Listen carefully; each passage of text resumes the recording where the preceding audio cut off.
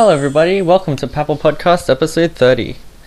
So, today we got some huge, huge news. We got the first actual trailer of the all new course from Pangya Japan called Mystic Ruins.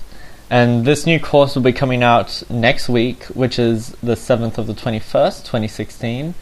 Um, and it's going to have a lot of new features and it looks incredibly cool. I actually did a reaction video, which will be in the description below. Um, thank you, Hachi, for recording that. That was so fun.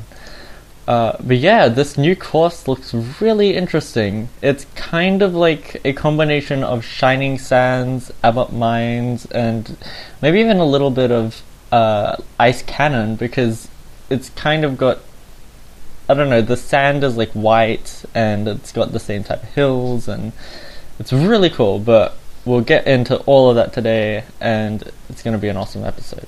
So, what is Mystic Ruins? Mystic Ruins is actually the first course ever developed exclusively by Pangya Japan's team, GMO. Um, and that's really interesting to me because um, I'm not sure if you guys know, but about maybe over eight months ago, Pangya Korea, uh, they did something. There was some sort of legal contract happening where they had to transfer it to another server for whatever reason. Um, so Korea has actually got gave all the creative licenses to Pangya Japan. And the main thing I want to iterate to is that this is an a brand new course. This isn't like an Ice Inferno where it's the same layout but like different textures and different models and like different, you know, NPCs. No, this is a brand new layout, brand new everything. Everything's built from the ground up, brand new, and it's really cool. I really wasn't expecting that because last year when we got we got like a teaser with two concept art images and we got a texture test. At the time, I thought that texture test was actually the course, like that's what it looked like at the moment. And so did a lot of other people on the forums, and we are actually quite disappointed. We are like, oh, this is just a reskin of Shining Sands.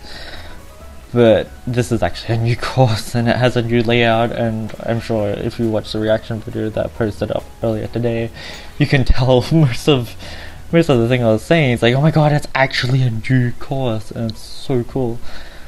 Because, like, it's been three years since we got our last course, which was Abbot Mines, and before that, it was, I think it was two years before that, we got Ice Inferno, which was just a reskin.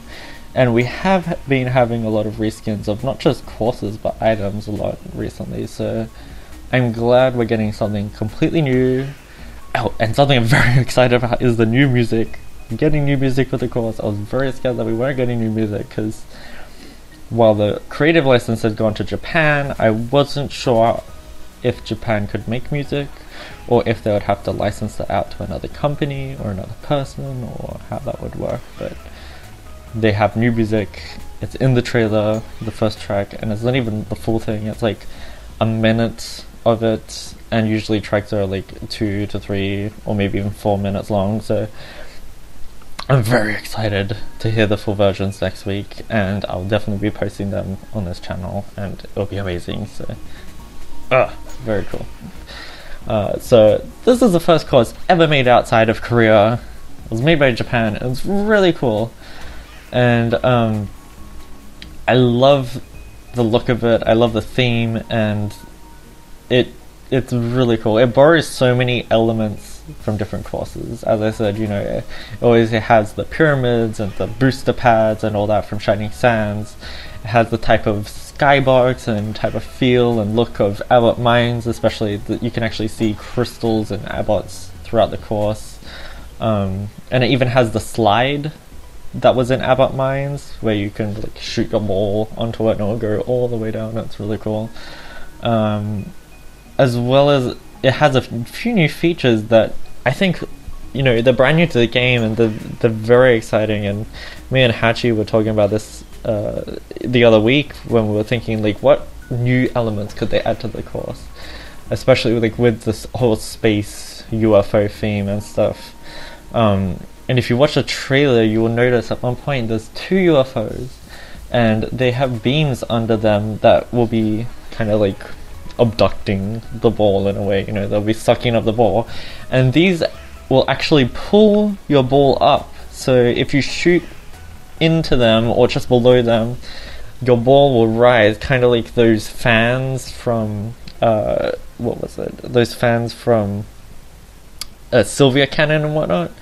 So that adds a really dynamic and interesting theme to the course, and I think that could add a lot of challenge. And something else that's new as well with this course is you might have noticed they had this in the teaser trailer. There's a gigantic purple, like it, I thought it was an orb first, but it's actually a gigantic purple type of uh, OB area. It's like this giant chasm, and it's got this like dome around it that it's like a force field. So if your ball goes into that, if your ball goes above this chasm, it will actually suck your ball down to the OB, and it's really like that's going to be quite a hazard and quite challenging. So I'm really interested how to see, you know, how they're going to make that work and how they're going to balance that. But it does look really, really fun and I do like all these new elements that they put into this course. There's actually a screenshot on the teaser website of the new course. There's this crazy screenshot which has, I think it has like 16 booster gates in one area, and I don't know how the heck that's gonna work. It wasn't shown in the trailer. Um, that looks insane, and someone, I love Hannah on the forums, they actually posted them. They're like, "This is an insane amount of booster gates." And it's true. Like, I don't know how that's going to work. I'm so glad there's so many booster gates because they're always so fun to hit. So that could be a really fun element. Um, and ju- I'm just like reading, you know, all these comments from the forums, and people were saying like, "Yeah, I am kind of sad that they changed the space background from the." Because I had a space background, a space skybox, and the original one from the concept arts and from the early texture tests that they did they showed last year. Um, but now they've changed it to like a happy blue sky or whatever. But I'm kind of sad that they changed it to. I thought the skybox before was fine. I like space, but apparently not. Um, but I thought it, I think it works perfectly fine as is, and I'm just happy that you know overall it looks really good, and uh, you know it feels more Pangya, if that makes any sense. So today the full teaser site came out. We already had the teaser site before, but it only had this kind of I don't know. It, it wasn't like a full trailer. It was just kind of like teasing a trailer was coming soon and that a new course was coming out soon. But today we got all the info. We got the first trailer coming out and everything, and um, you can see footage of the the website here. It's really cool. Um, and basically on this website, it has you know screenshots and it even shows where the new course is placed. And Mystic Ruins, interestingly enough, is placed directly under Shining Sands. Um, and I found that interesting because originally this course was supposed to be set in space. As you can tell, this obviously has a very space type of themed look to the course. Um, and a very futuristic theme with UFOs and these kind of crazy pyramids and all that. It's really cool. Um, but it was originally supposed to be set in space if you based it off the concept art and the early texture tests. Um, and I'm wondering if perhaps they changed the space look to it that it had earlier because they couldn't figure out where they would place it on the map. If it's set in space, then it can't be on Pangya Island, obviously, so they would have to set it somewhere outside of the map, and you can't do that. Um, so maybe that's why they changed the skybox to the kind of cloudy thing that it is now, but I'm not sure. Either way, it's really cool, and Mystic Ruins is only three stars. I heard a rumor before we actually got the teaser site today that it was four stars, but it's three stars isn't bad, and you know we still get a decently challenging course. Um, and because of all these new elements that they've added to it, I think it's going to be a lot more trickier than just your average three or two or four star course. It's it it's definitely going to be more fun to play. It's definitely going to be you're gonna have to think more about where you place your Phoenix Ball and where you hit and stuff. So I think that'll be really cool. So right now, Japan's actually also having an event for the new course. Even though the new course isn't out till next week, uh, we actually get a really cool event based off Mystic Ruins. Um, the event consists of like basically there's you play through any holes you want, any course you want. Um, 18 holes, 3 holes, whatever it is, it doesn't matter because your goal is to get these kind of they're similar to Abbott crystals, but they're the ones from the new course, so they look a bit different and a bit newer, a bit better, honestly.